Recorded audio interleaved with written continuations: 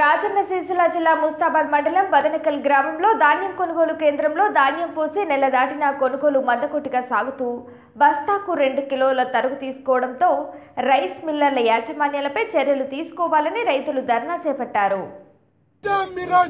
ఏం కట్ కావని పదిహేను రోజుల నుంచి కంట చేసి ఇప్పుడు ఏమంటారు? ఒక్క సంచికి రెండు కిలోలు కడిగేస్తే మేము పెట్టుకుంటాం లేకపోతే లేదు అంటుంది రైస్ మిల్లు రైతు ఏం నష్టం కావాలి సార్? ఒక్కొక్కరికి మూడు వందల బట్టలు అయినాయి.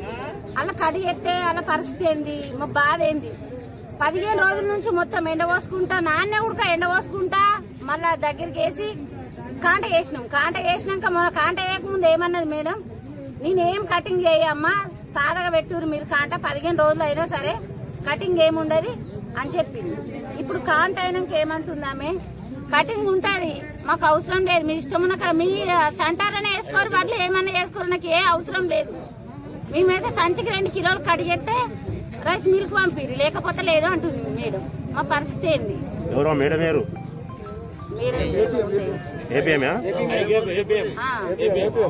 ఒక కిలో రెండు కిలోలు కట్టింగ్ ఇస్తే రైస్ మిల్ అయినా దించుకుంటా అంటారు ఎంతవరకు సమంజసం? అధికారులు ప్రజాప్రతినిధులు ఎవరైనా వండించుకోరు రైతులకు. ఈ టీఆర్ఎస్ పార్టీ పార్టీ మీ కార్యకర్తలకు కాపాడుకోవడానికి ఉంది కానీ రైతులను మాత్రం లాభం చేద్దామని లేదు. ఎంత చేసిన వ్యవసాయం రైతు చేసిన రాజ్యం బాగుపడ్డాడు చరిత్ర లేదు. రానున్న రోజుల్లో మీ టీఆర్ఎస్ పార్టీకి రైతుల తగిన బుద్ధి చెప్తారు. జై హింద్ జై భారత్. అందుకు రైతులకు చాలా కోపం వచ్చింది. ఇవాళ ఎన్ని రోజులు వెయిట్ చేయలేరా సార్. లారీ కాదు లారీ సొసైటీ పాయింట్ మీద వచ్చినాక కట్టింగ్ ఇస్తలేరని మరిపోయింది.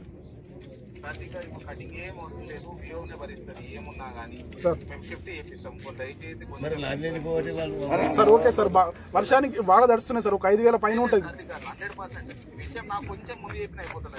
Sir. Cutting okay sir thank cutting okay sir. Okay sir thank you sir thank you thank you thank you sir